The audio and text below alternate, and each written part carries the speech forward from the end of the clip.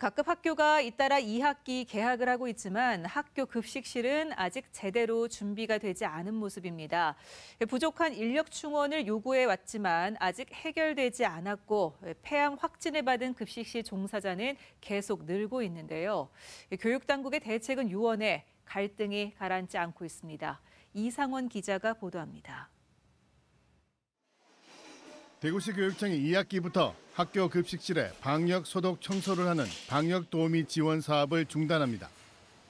코로나 단계가 하향된 데 따른 조치라고 밝혔습니다.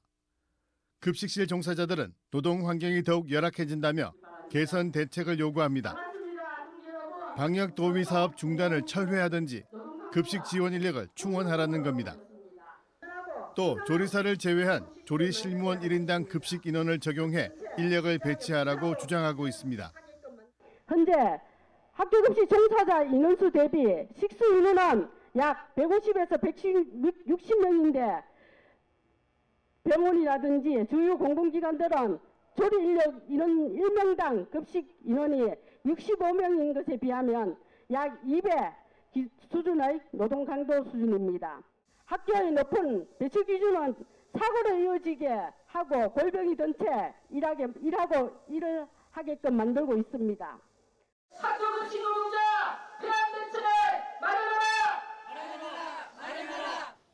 퇴직한 급식실 종사자 한 명이 최근 또 폐암 확진 판정을 받았습니다. 지금까지 대구에서 확인된 폐암 확진자만 8명입니다. 폐암 당사자가 안정적으로 치료받을 수 있는 대책 마련을 지속적으로 요구하고 있지만 개선의 여지는 보이지 않습니다.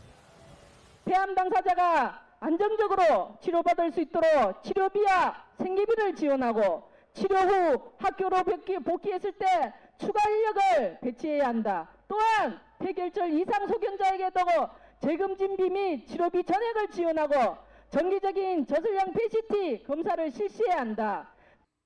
대구시 교육청은 학교 급식 방역 전담 인력 사업은 종료가 불가피하다고 밝혔습니다. 급식 인원 및 조리 종사원 인원 수를 학교가 아닌 다른 기관과 단순 비교해 업무량을 비교하는 건 타당하지 않다고 설명했습니다. 폐암 대책에 대해서도 교육부, 고용노동부에서 폐암 검진 정기 실시 방안을 마련하고 있으며 방안에 따라 자체 계획을 수립할 예정이라고 밝혔습니다. 노조는 골병 드는 학교 급식실 근무 환경을 개선하기 위해 정기적인 노사협의체를 구성할 것을 요구하고 있지만 대구시 교육청은 원론적 입장만 반복하면서 갈등의 골이 깊어지고 있습니다. MBC 뉴스 이상원입니다.